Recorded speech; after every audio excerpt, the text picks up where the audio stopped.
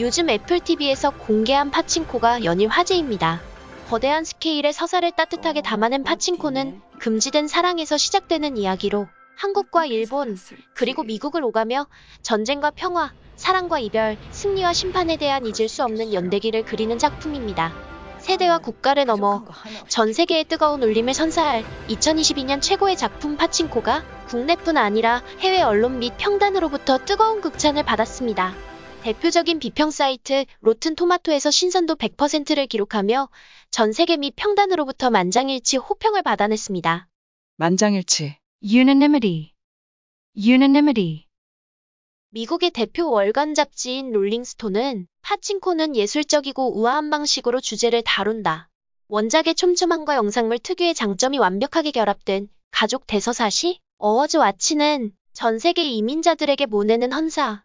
윤여정은 이민자들의 회복력에 대한 방대한 서사를 숨막히는 연기력으로 그린다. The Playlist는 2022년 최고의 작품 중 하나라고 평가하며 하나같이 입을 모아 극찬했습니다. 이렇듯 일제강점기 조선인들의 삶을 다룬 드라마 파친코에 대한 호평이 쏟아지는 가운데 일본 누리꾼들은 역사를 왜곡한 반일 드라마라며 반발하고 있습니다. 역사를 왜곡하다. Distort history. Distort history.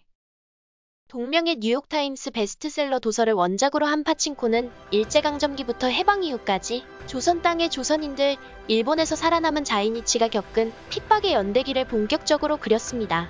첫 장면부터 1910년 일본은 제국을 확장하며 한국을 식민지로 삼았다는 자막이 등장하는데 이는 강제 식민 지배를 부정해온 일본의 태도와 대치돼 화제를 모으기도 했습니다.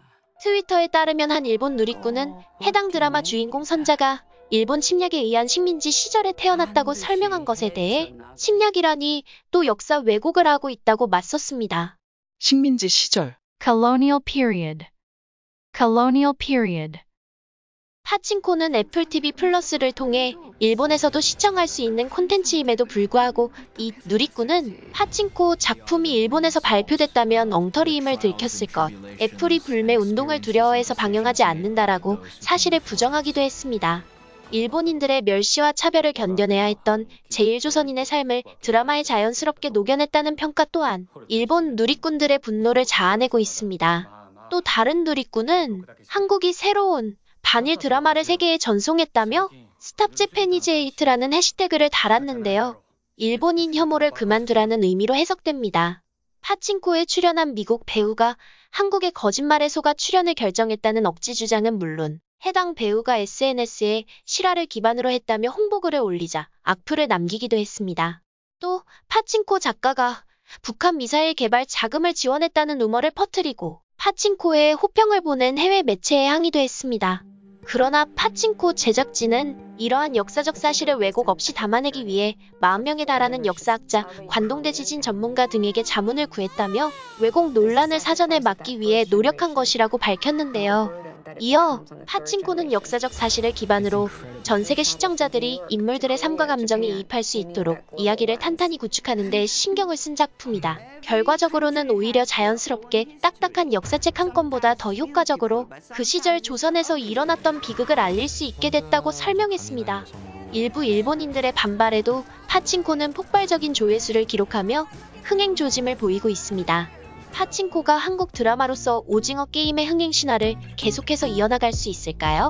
만장일치. Unanimity. Unanimity. 역사를 왜곡하다. Distort history. Distort history. 식민지 시절. Colonial period. Colonial period.